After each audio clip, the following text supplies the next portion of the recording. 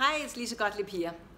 I'm here at the Harvard Implementation Day, and um, not alone did I get a uh, testimonial from Clint Arthur, which I appreciate very much, um, but also did Clint teach me how to uh, use these testimonials um, to address issues that I have in my selling process, um, which can um, actually le will leverage my business to the next level, I'm sure.